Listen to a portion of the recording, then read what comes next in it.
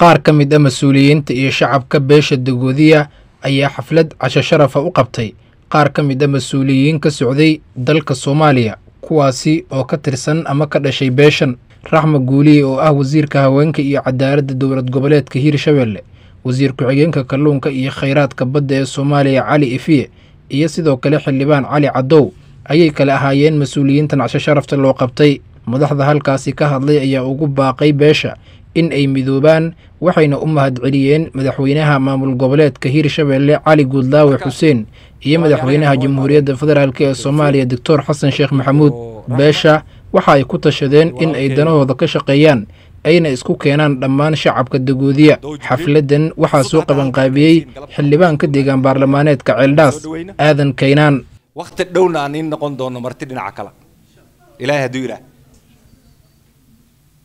waxaan umalaynaa detailkooda inaan gala ma rabo maandhow guddigii aaday jigjiga oo hogaaminaya governorga wajeer.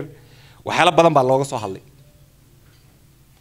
Waxyaalo realization u baahanaa jiro road map maxaa iska tag ma aheen gobolka iskaga tag iska soo noqo ma aheen waa in laga hadla economic empowerment iyo unity of purpose. Walaalayaalkay soo dhawaada soo dhawaada maanta ka baxdina higsigayna waa caddaan doona insha allah. Aniga haddaan siyaasad soo galay oo liisoo doortay laakiin muddona waa ku dhex jiray.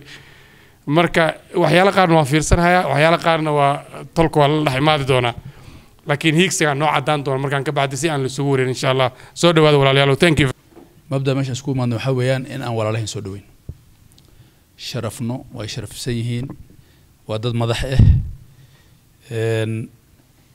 magaca qoyskan ayaa maaragtay meel kale ku mathalaan shaqo badan ay qabtaan waad maqasheen waxaa ku badbaada. Ummadda halkanba hataa ka tagto xaggaa joogta sida wasiirku uu sheegay soo dhawaada waad mahadsantihiin tolkiina ayaad dhex imaadeen. Halkan dad baa in jooga.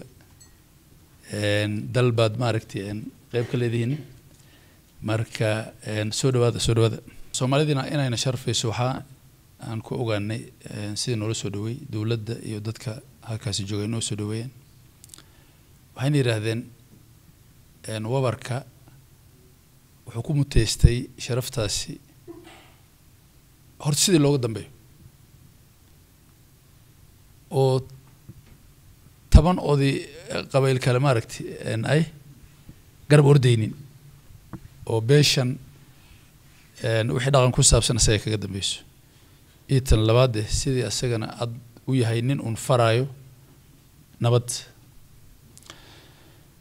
Keliya waxaan u imaadnay un in walaalaheen aan isla cashayno oon isbaranno oon isla dardaaranno wixii aan isla qaban karna hadalkii oo gaaban i think intaas keliya waaye waxaan u mahadcelinaa dhammaan dadka walaalaha runtii oo sida wanaagsan noo soo dhaweey maxshumuha kaynaan iyo dhammaan xildhibaanada inta fadhiya intaba waad mahadsan tihiin wixii khilaaf oo jirana xagga iska dhigi sharci waxaa jira oo yaanyuurta ay leedahay.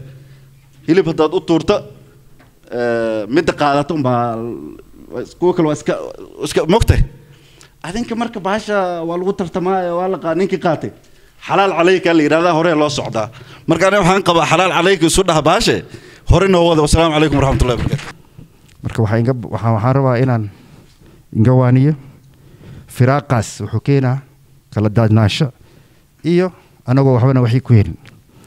Markaa soo dhawaada garabkiinaan nahay walaalihiinaan nahay wax yaroo naga dareenteenna waan istiri doonaa marka sidana laga raban waa noqon doonaa wasalaamu calaykum waraxmatullah run ahaantii dagoodiya fursadda uu ku haysta waddanka soomaaliya waxaa kow ka ah. Dhammaan waxaan ka midaysannahay aan ku jirnaa dowladda federaalka haddii aan leeyahay shaqaalaha rayadka haddii aan leeyahay shaqaalaha maamul goboleedka dhanka ciidanka waxaan leenahay saraakiil waxaan leenahay ciidamo oo ka kooban afarta ciidan ee soomaaliya